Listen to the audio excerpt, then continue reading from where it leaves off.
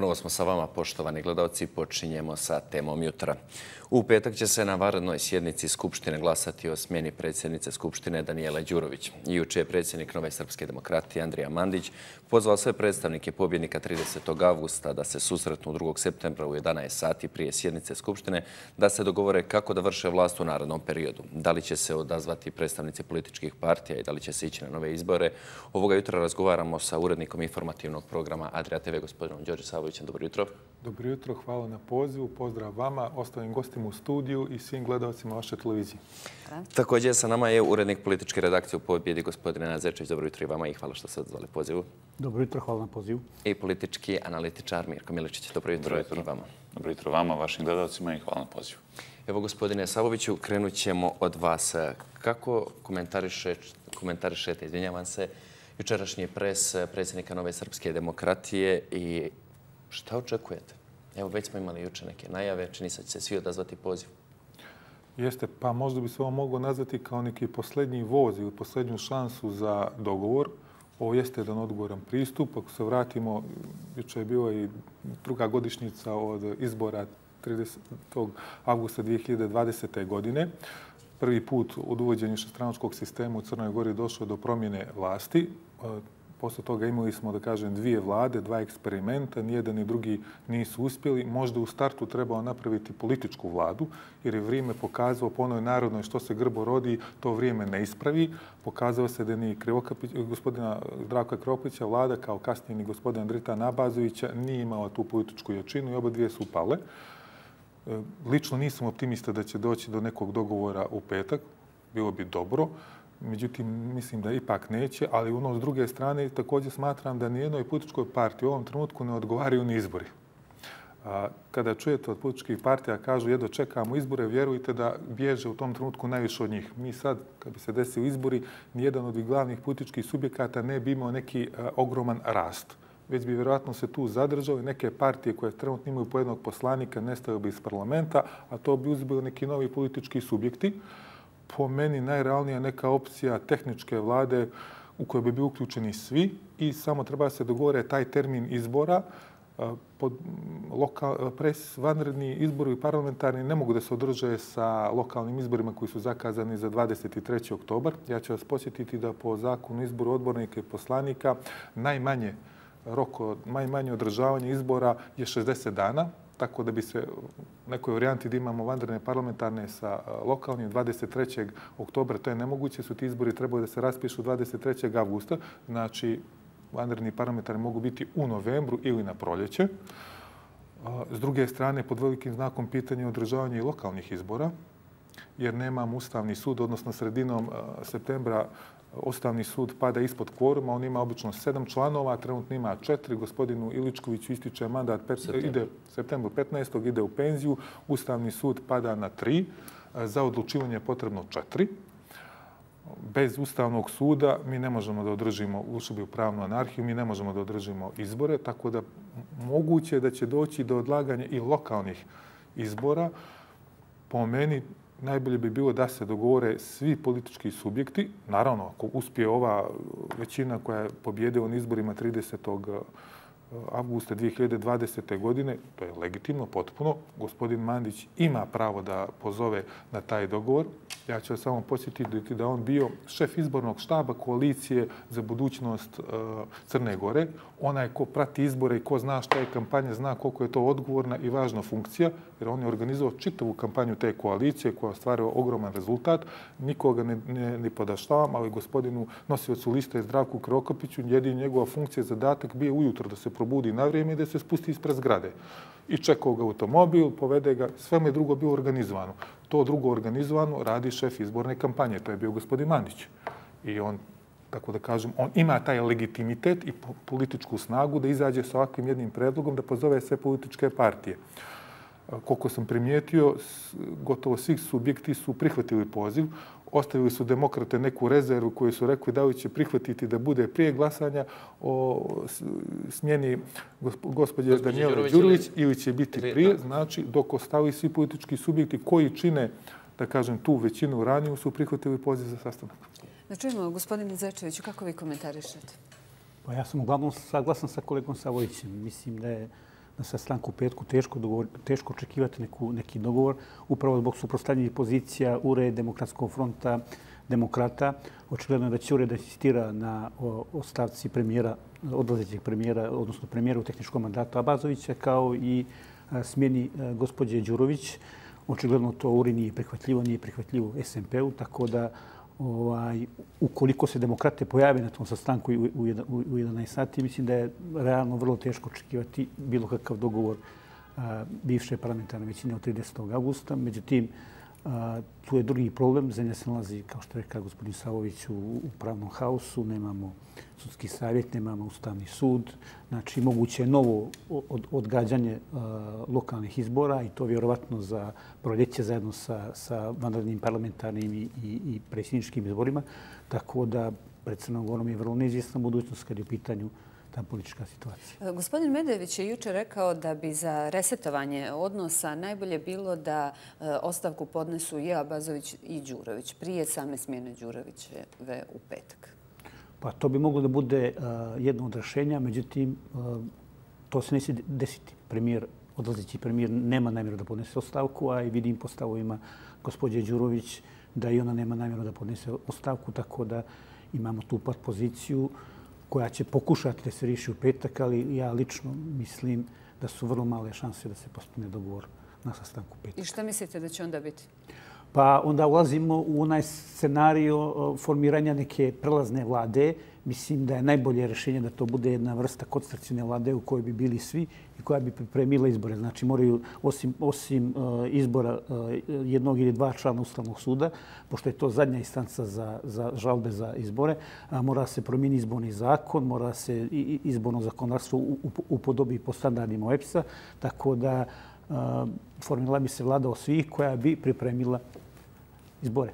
Dakle, to je upravo ono što je gospodin Mandić juče predložio na, na preskonferenciji. Da, ali s tim što je gospodin Mandić predložio da, da tu tehničku vladu čine e, pobjednici 30. augusta. Međutim, u ovom trenutku to je jako, jako teško izvodivo. Upravo zbog suprostavljenih stavova svih unutar te bivše koalicije. Gospodine Miličiću? Pa kolege su manje više sve rekle, ali juče je bio prije svega jedan jako simboličan datum da se po posljednji put pozove na dogovor sve koalicije koje su pobjedile 30. augusta. I gospodin Mandić kao i Demokratski front imaju legitimitet ne samo zbog toga što je gospodin Mandić bio predsjednik izbornog štaba Koalicije za budućnost Crne Gore, već iz jednog drugog aspekta, to je da Demokratski front, podsjetiću, nije glasao za obaranje niti jedne, niti druge vlade. Znači, demokrate i URA su glasale za obaranje ili jedne ili druge. Samim tim, u nekom obliku su glasali sa DPS-om za obaranje jedne ili druge vlade. Demokratski front to nije učinio. Samim tim, ima legitimitet da pozove sve ostale na dogovor i da kažemo da se dogovorimo na ravne časti. Ali ono što je bitno jeste da ostali politički akteri, prije svega demokrate i jura, moraju da podnesu neku vrstu žrtve kako bi se formirala tehnička vlada.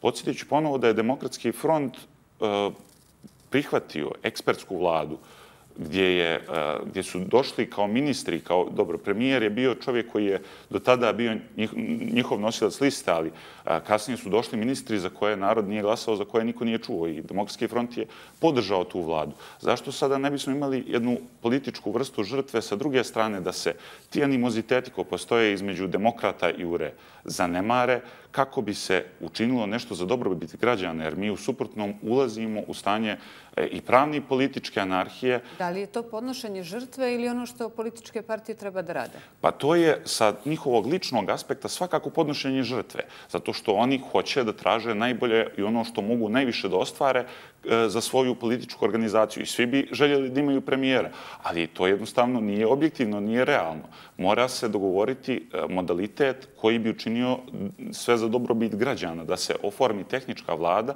koja bi bila oročena na godinu, recimo, dana, i koja bi imala jasne ciljeve kao što su priprema vanrednih izbora, a u, u skladu sa tim i čišćenje biračkog spiska i sve ostalo što ide. Tako da jednostavno lopta je u terenu demokrata i Jure, malo više demokrata zato što gospodin Mandić je juče pozivao da se ostavi prošlost pozadi, znači da se razmišlja o budućnosti. I mislim da to je jedna jako dobra poruka zato što demokrata i Jure sada crpe taj animozitet iz prethodnih kavgi. Šta bi onda bilo kada bi demokratski front krenuo da gleda unazad sve ostale stvari koje su, e, neko, kada je neko zamirio nešto njima ili kada, je, kada se eto, demokratski front zamirio nekome. Onda ne bismo, jednostavno politički život ne bi bio moguć. Tako da jedino rešenje kako bi došlo do dogovora u petak, da demokrate i URA jednostavno malo se žrtvuju za dobrobit naroda kako bi se oformila ta tehnička vlada i kako bi mogli da idemo dalje. Evo, i jasna je pomenula upravo na, na izjavu gospodina Medojevića i dotakli ste se kako bi ta žrtva trebala da izgleda. Da li mislite da bi možda upravo, ukoliko bi podnijeli smjenu, odnosno ostavku Danijela Đurović i premijer Dritan Abazović, da li bi možda upravo to bilo prihvatljivo i negdje kao veza da se pomjere URA i demokrate? Jer nekako čini se najviše između njih postoji ta tenzija. Ne, ne mislim. To... Mislite da ne bi to doprinjelo? Ne, mi znači, imamo trenutno znači, vladu u tehničkom mandatu, imamo predsjednicu Skupštine, međutim, kako dođe do njene smjene, a, gospođa Bošnjak preuzima funkciju predsjedavajućeg i u tom trenutku mi imamo samo funkciju predsjednika države u punom ustavnom kapacitetu. Znači, to bi u suštini značilo jačanje uloge i funkcije gospodina Milo Đukanovića i davanje vjetra u leđe DPS-u. Jer nemamo ni premijera u punom kapacitetu, ni, ni predsjednika funkciju u punom kapacitetu. Tako da ne vjerujem u taj dio. Naravno, hoće se desiti taj scenario. Ne, ja ne vjerujem u slučajnosti. Može slučajno da dobijete na sportskoj kladionici, može slučajno cura da se zaljubi u mladiće, ali u politici slučajnosti ne postoje. Mi smo imali, znači, 19. kada je bila smjena vlade, mi smo u tu smjenu vlade mogli da dočekamo sa drugog. Jer isto taj postajava ta inicijativa. Vjerujem da demokrate znajući da su ipak ozbiljna politička partija, da nisu tako olako ušli u baranje 19. augusta vlade, a to su isto mogli da urade 2. septembra. Znači da imaju neke dogovore s određenim političkim subjektima. Nisam siguran da, da isto, kao što rekao kolega, da će se postići dogovor i ja smatram da će najveća realnost to biti koncertacijona vlada, odnosno vlada izbornog povjerenja, nešto nalik vladi koja je bila pred izbore 2016. godine, kada su bili uključeni svi opet kažem, inicijativa gospodina Mandića je potpuno legitimna. Gospodin Mandić ima politički legitimitet da uputi takvu inicijativu. Njemu to pripada i može. Ali zbog, da kažem, sujete ostalih političkih partija, zbog njihovih nekih pogleda, nisam siguran da će to se realizati. Gospodine Zečeviću, evo, dotakli smo se toga, gospodin Mandić je izašao sa inicijativom. Da li je bilo za očekivati da upravo demokrate izađu? Znamo kakve su bile poruke nakon izglasavanja nepovjerenja vladi da je Dritan Abazović kazao da neće da sjede za sto, dok su pojedini ostali hladne glave i kazali sješćemo, vjerovatno, pustimo prođe vrijeme. Da li ste očekivali da demokrate izađu sa ovom ponudom? Da li vas čudi njihovo čutanje? Pa ne, ne čudi. Mm -hmm. Demokrate su prije toga imale seriju sastanaka na bilateralnom nivou u Briselu sa gospodinom Lečakom, sa gospodinom Piculom. I ovaj, to je bilo prije, prije eh, glasanja u nepovjerenje vlade i saglasan sa, gospod, sa kolegom Savovićem da nacionalna većina koja je srušila vladu, srušiti i predsjednicu Skupštine, mislim da će i DPS i SD, odnosno da će najmanje 48 ovaj, poslanika dići za, za, za sminu Skupštine. E, kad se to desi, onda imamo jednu potpuno novu realnost, odnosno da, da fun, funkcioniše de facto jedna nova, nova parlamentarna većina koja će u slučaju da propadne ideja o konstitucijnoj vladi možda formirati neku praznu vrstu vlade.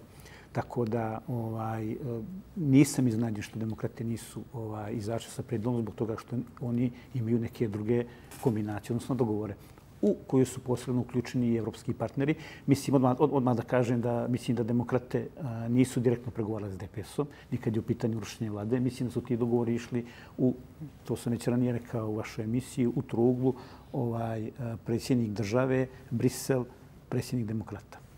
Mislim čak i da neki i visoki funkcijni demokrata možda nisu upoznati s tim, s tim dogovorom. Gospodine Miličiću, kako vi upravo komentarišete dolazak Miroslava Lajčaka? Vidimo jutro su u danu također izjavio da bi političke stranke trebale da pronađu kompas koji je izgubljen. Pa Miroslav Lajčak kao i uvijek ponavlja neke mantre koje su postojeće u pa evo, da kažemo, decenijskom periodu, da jednostavno Crna Gora treba da pravi vladu koja je evropski orijentisan, iako je do sada malte ne svaka bila, makar načelno, i mislim da, bi, da su svi politički uh, akteri na crnogorskom političkom nebu okrenuti ka Evropskoj uniji, tako da jednostavno to su neke suvišne mantre, kao da ponavljate nebo je plavo.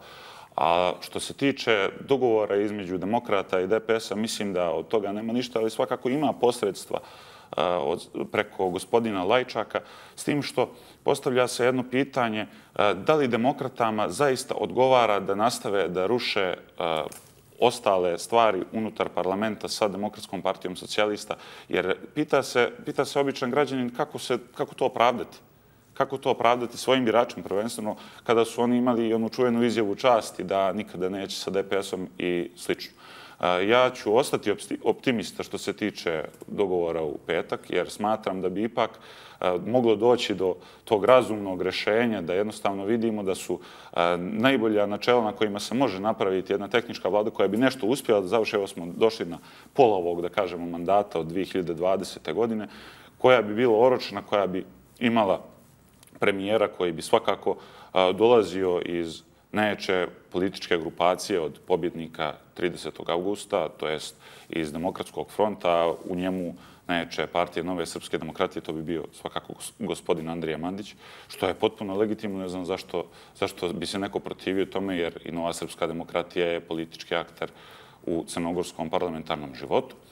Tako da jednostavno mislim da je vrijeme da i demokrate i URA poput njihove zajedničke kampanje u Podgorici zakopaju ratne sjekire i dođu za isti sto da razgovaraju i da vidimo da naprave i jedna strana i druga strana neke ustupke. Vjerovatno će i Demokratski front napraviti neki ustupak, jer to je poenta dogovora. Napravimo kompromis dok ne nađemo rješenje.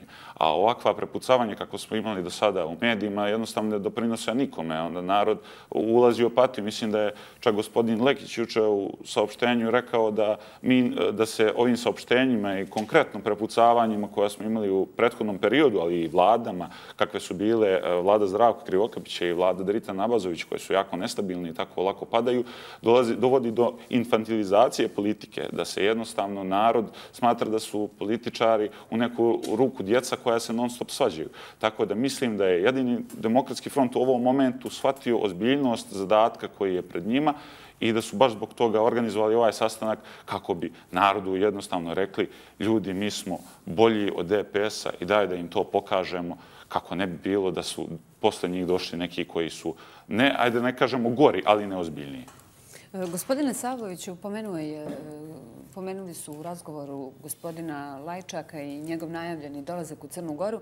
Kako vi na to gledate i smatrate li da je možda prejak uticaj stranog faktora kod nas? Pa evo, pratim politiku 23-4 godine, taj uticaj nikad nije prestao. Bio bi divno da mi možemo sami da se dogovorimo, ali kad se vratim unazad film, svaki politički dogovor i bilo šta u Crnoj Gori bio je uz jako međunarodnu intervenciju i prisustvu. Ja ću neđe se ranije posjetio, posjetit ću opet kolege, kad smo imali isto prije nekih 15 godina situaciju sa, isto sa Ustavnim sudom, tada su DPS i SMP dogovorili, tada je bio pet članova Ustavnog suda, dva je dao DPS, dva je dao SMP, a tog petog uključujućeg, trebali su nakon izbora da izabere pobjednik ovaj. Isto uz posredstvo međunarodne zajednice.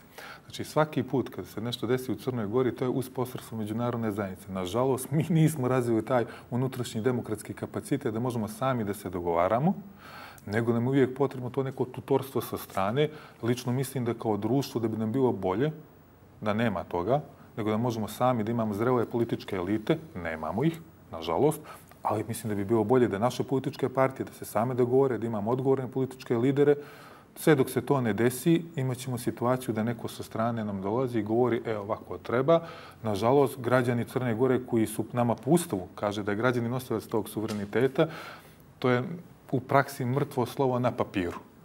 Umeđu vremenu, samo bih vas podsjetio, ako dozvolite, mi u sve u možda najveću političku krizu imamo i ogromnu ekonomsku krizu. Mi smo u junu i julu za struju dali 70 miliona eura, a s avgustom vjerovatno bit će 100 miliona novo struje. Crna Gora. Mi imamo trenutno zadnji podaci Mostata pokazuju da je nama pokrivenost a, uvoze izazom na 22%. što je nedovoljno. U drugom kvartalu ove godine imamo pad e, otkupa poljoprivrednih e, proizvoda od individualnih proizvođača, iako govorimo da trebamo da ulažemo u poljoprivredu da dolazi ekonomska kriza. Znači imamo e, realni život, ovaj ekonomski, koji teče pored političkog. I umjesto da politika olakšava realni život i ekonomiju, mi imamo trenutno možda najkomplikovaniju političku situaciju u Crnoj Gori u zadnjih 20 godina. I što je najgore, bez nekog jasnog rešenja i bez nekog jasnog izlaza po meni, naravno, odgovornost jeste na političkim elitama. I sad, iako je, vi ste dobro primijetili, i apatija postoji u biračkom tilu, kad dođu izbori, vjerujte, u Crnoj Gori opet ćemo imati jednu od rekordnih izlaznosti izbora 80%. Kakav interes stranih faktora za Crnu Goru? Dobro, Crnu Goru treba posmatrati, nemamo mi sad neki veliki globalni uticaj s obzirom na gabaritet teritorije, Jasno, ali sami kažete da taj strani faktor postoji decenijama unazad. Jeste. Kakav on interes ima? Interes ima zbog regionalnih dešanja. Trenutno znači možda imamo također nikad krhkiju situaciju u čitavom regionu. Vi trenutno u Bosni, a pogotovo na Kosovo i Metohiji, možete da potpalite vatru u roku od jednog dana. Znači, nikad nemamo situaciju, da kažem, nestabilniju nego što je sad. Znači, imamo Srbiju koja odgovara stabilnost, imamo Hrvatsku koja odgovara stabilnost, ali imamo Bosnu i pogotovo situaciju na Kosovo i Metohiji gdje svakog trenutka može da izbi... Imali smo u Makedoniji, ja sam pratio tada proteste, vrlo nestabilnu situaciju. Znači, Crna Gora također. Možda nekome odgovara sa strane da i pored situacije kakve u Ukrajini još negdje izazove tu neku nestabilnost. Nažalost, ovdje smo uvijek imali potencijal. Kad je pitanju sukobi, e, nemiri, mi imamo ogroman potencijal. Mislite da, da se nije ništa promijenilo evo koliko već godina? Pa ne, kod nas je uvijek mnogo lakše srušiti most nego sagraditi most. Znači, kad treba nešto da srušimo, kad treba nešto da pokvarimo, tu smo sjajni, nema problema, svi se dogovaramo. A kad treba nešto da izgradimo, da napravimo, tu jako teško imamo dogovor. Evo, ta inicijativa po meni Otvoreni Balkan, ja smatram lično da je ona dobra za Crnu Goru, da Crna Gora treba da pristupi. Crna Gora ne ide ka tome. Po meni ja ne vidim, nisam, nisam se uvjerio u, u razloge koji su bili protiv, uvjerio sam se u razloge koji su za. Međutim, i tu imamo stagnaciju, nemamo napredak na tome. Gospodine Zečeviću, upravo juče je predsjednik Nove Srpske demokratije Andrija Mandić pozvao takođe i manjinske partije kao činioce buduće te neke vlade. E, kako gledate recimo na stav Bošnjačke partije i on je takođe kazao da iako u prošlosti su stajali uz, uz prethodnu vlast, sada su glasali za obaranje ove vlade. kako komentarišete njihov stav? Pa e, mislim da je teško očekiva da se manjinske e, stranke, pogotovo Bošnjačka, priključi e, ovoj potencijalnoj koaliciji e, koju bi vodio Demokratski front. Mislim da je to jako teško. Posjetit ću vas da je Bošnjačka stranka potpisnica memoranduma sa UROM i SMP-om oko ti memorandum suštinski su udareni temeljni manjinske vlade. Međutim, sada da Bošnjačka stranka mijenja stranu pa ide ovaj, prema koaliciji koju bi prevodio Demokratski front, mislim da, da će to dosta teško ići. E, mislim da će e, Bošnjačka stranka ovaj, slediti euratlansku agendu. Mislim da će biti na stranu DPS-a i njegovih satelita. Kako uopšte komentarišete? Jedna od mogućnosti koja se pominjala u medijima je bila je to da e, Ibrahimović, upravo predsjednik Bošničke stranke, bude premijer, a da vlada bude e, opet manjinska uz podršku Demokratske partije socijalista. Da li je to izvodljivo u ovoj situaciji? Pa uz uvažavanje kolega koji su to opisali, ja mislim da je to klasična spekulacija, da, da, da, da je šansa za to gotovo da ne postoji, jer imamo jasan stav e, demokrata da neće ulaziti u bilo kakve projekte manjinske vlade po uzoru na, na URU i SMP. Tako da mislim da da li bi bio demokratski iskorak, da li bi bio demokratski iskorak da gospodin uh, ovaj Ibrahimović bude uh, premijer, bio bi, ali mislim da u ovom momentu gotovo da ne postoje šanse. Nijako bi Brisel rekao. Pa čak i u tom slučaju. Gospodine Miličiću, kako vi komentarišete? Pa prije bi, samo bih se nadovezao na konkretno uh, miješanje spoljnog uh, faktora u dešava, politička dešavanja u Crnoj Gori. Mislim da je bi recimo ovaj sastanak bio jedan jako lijep i, ajde da kažemo, prvi korak uh, kako bi se narod ovdje oslobodio i stvarno se osjećao kao nosilac suvereniteta, zato što do sada, evo, kao što vidimo i ova manjinska vlada, a bogom i ekspertska koja je bila prije nje, su svakako konstituisane uz uh, E, zdušno podržavanje sa zapadnih adresa prije svega. E, sada kada bi se napravila konačna da tehnička vlada koja bi imala sve političke aktere, uključujući Demokratski front sa 30, e, pobjednike 30. augusta, to bi bio jedan pokazatelj da je konačno Crna Gora dobila vladu koju nije sastavljao neko iz, da li iz Evropske unije, da li iz nekih drugih organizacija koje se nalaze na zapadu uz svo poštovanje njihove političke moći, ali mislim da stvarno crnogorski narod očekuje da sami mogu da biraju sobstvenu vlast i recimo zato je bila jako burna reakcija na navodno saopštenje iz State Departmenta od uh, neimenovanog, odnosno anonimnog uh, izvora. Jeste, to je, to je pomalo bilo i smiješno, ali to je bio neki probni balon i narod je jako burno reagovao što je očekivano, jer jednostavno nalazimo se u 2020. godini kada manje više svaka zemlja ima pravo da odlučuje, mi se i dalje nalazimo pa čak u nekoj goroj poziciji nego Bosne i Hercegovine koja ima e, čovjeka koji se zove e, vrhovni, odnosno glavni zaslanik za Bosnu i Hercegovinu, tako da jednostavno to je, to je mm, nezamislivo više u 2020. To je pogotovo u zemlji koja pokušava, odnosno članica je kandidat za, za Evropsku uniju i eto članica je NATO. A, a što se tiče uh, gospodina Ibrahimovića kao potencijalnog premijera, Nema, mislim da tu nema nikakvih šansi da se to realizuje, pogotovo zato što bi to bila neka manjinska vlada. Ponovo, kao što je kolega Zečević rekao, to bi to bi bio, bilo neprihvatljivo za demokrate, ali dolazimo do jednog jako zanimljivog scenarija da su sada manje više svi narodi imali premijera osi, u Crnoj Gori osim Srba. Tako da do sada smo imali znači, Crnogorce premijera, evo imali smo Drita Nabazović premijera u ovoj spekulativnoj ovaj, nekoj verziji imali bi gospodina Ibrahimovića, evo postavlja se pitanje kada će neko iz naroda koji ima 30% u Crnoj Gori, ako ne i više, evo čekamo popis koji se non stop podlaže, imati pravo da ima svog premijera u Crnoj Gori i da taj narod bude zastupljen. E, nemamo još mnogo vremena.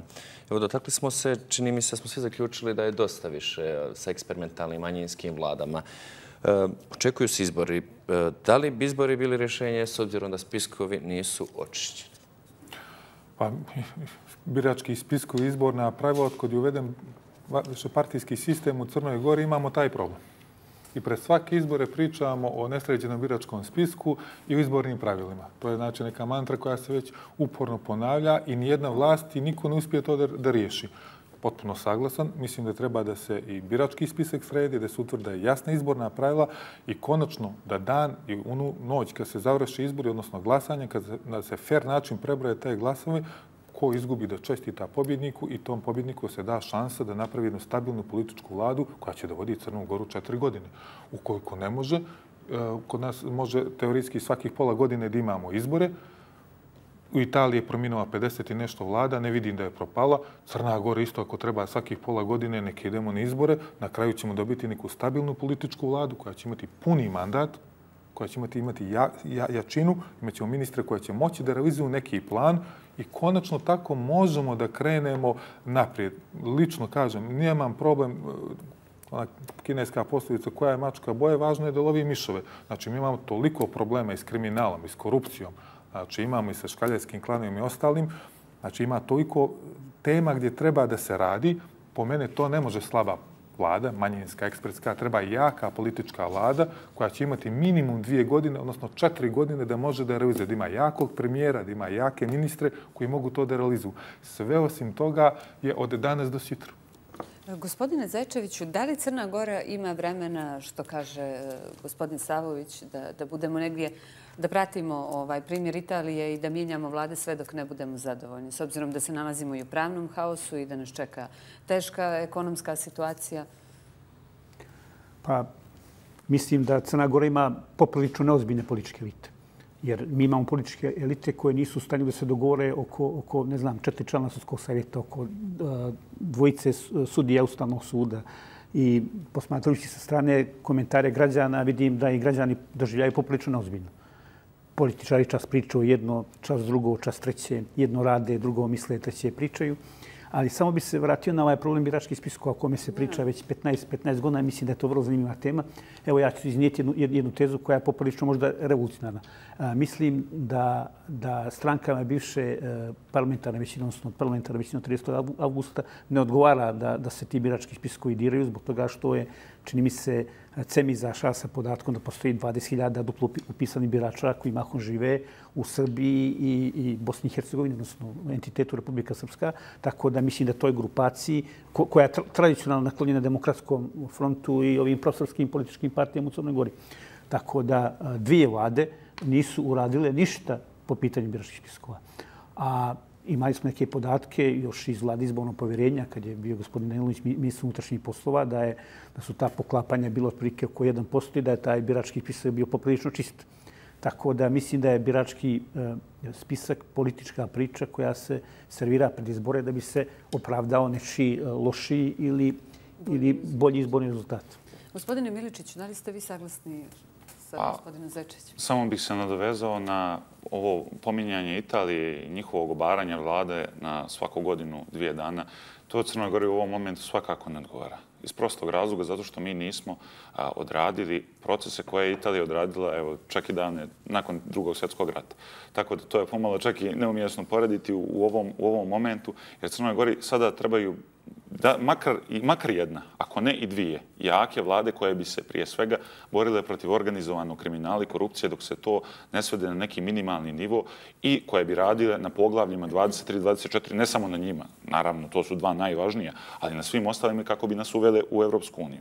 Tako da jednostavno, posle toga mi možemo da ulazimo u razne, razne da kažemo, eksperimenti sve, jer do, u tom momentu ćemo imati neku vrstu stabilnosti koja će odgovarati građanima i tada neće biti problema ni kao što se dešava u Belgiji da vlada pada na pola godine, pa da se ide na nove izbore, pa da ne može da se formira, jer jednostavno postoji sistem koji radi mimo politike. Znači, rade drugi sistemi koji postoje. Mi u ovom momentu evo, ulazimo u pravni haos, znači imam neku vrstu i političkog haosa. Jednostavno potrebno je da se sve stvari dovedu nekako na svoje, da se uh, napravi prije svega, da kažem, ajde, jaka tehnička vlada, koja bi imala jedan ili dva prioriteta, a to je organizovanje vanrednih parlamentarnih izbora koji bi imali uz to, eto da kažemo, ponovo se vratimo na birački spisak, makar kontrolu, evo da ne kažemo sad čišćenje, više smo, više smo možda i dosadili građanima, I drugo je da se nastavi borba protiv organizovanog kriminala i korupcije, jer stvarno ono što je premijer Abazović iznio ovaj, na sjednici